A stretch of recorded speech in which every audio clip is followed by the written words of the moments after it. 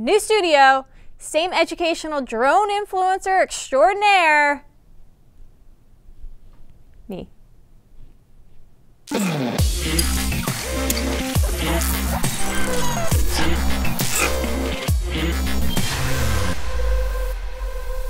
Today, we're going to talk about one of our most dynamic skills, orbit.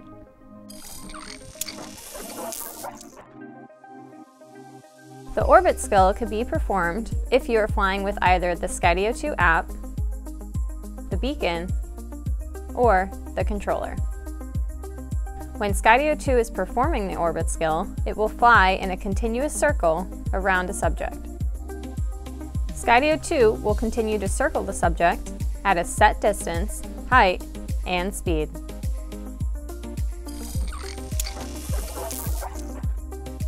If you are flying with the app, you can initiate orbit by navigating to the Skills menu and tapping the orbit icon. Then, select a subject to track, and Skydio 2 will begin to orbit that subject. This is also how to initiate orbit if you are flying with the controller. If you are flying with the beacon, you can find the orbit skill in the cinematic mode selector. Once you select orbit, Skydio 2 will automatically begin orbiting around the subject holding the beacon.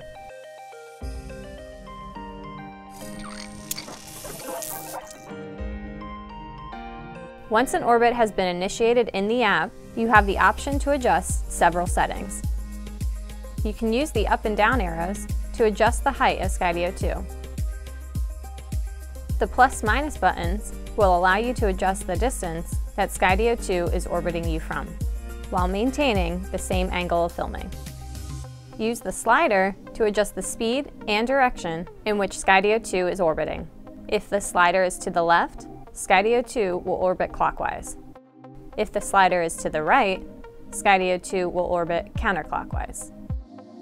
The further away the slider is from center, the faster Skydio 2 will orbit. If you are flying with the beacon, you can use the plus minus buttons to adjust the distance Skydio 2 is tracking you from. You can use the arrow buttons to adjust the speed and orbit direction of Skydio 2. You can also use drag and drop with the orbit skill. Using drag and drop will allow you to simultaneously adjust Skydio 2's height, direction of orbit, and speed of orbit. To use drag and drop, Point the beacon at Skydio 2 and press and hold the blue Skydio button.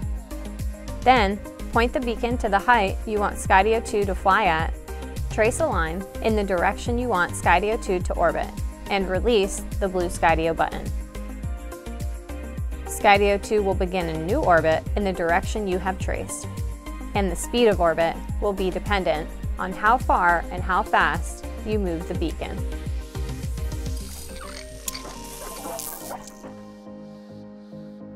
If you are flying in an open landscape, set your orbit height low to the ground for sweeping cinematic footage.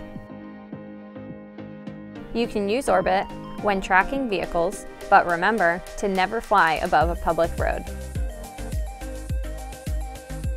While using the orbit skill, your Skydio 2 will be covering a wide area, so be aware of any obstacles the drone will need to avoid. As always, Skydio 2 will maintain full obstacle avoidance while performing the orbit skill. And with that, I'd say it's time to write an obituary for manual drones.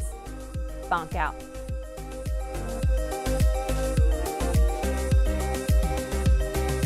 If you've been watching my videos but haven't subscribed or turned on notifications, are you okay? You know that I have a full-time job outside of this and I'm just doing this for free, right? Same studio. New studio. Same educational influencer drone extraordinaire. I mixed that up.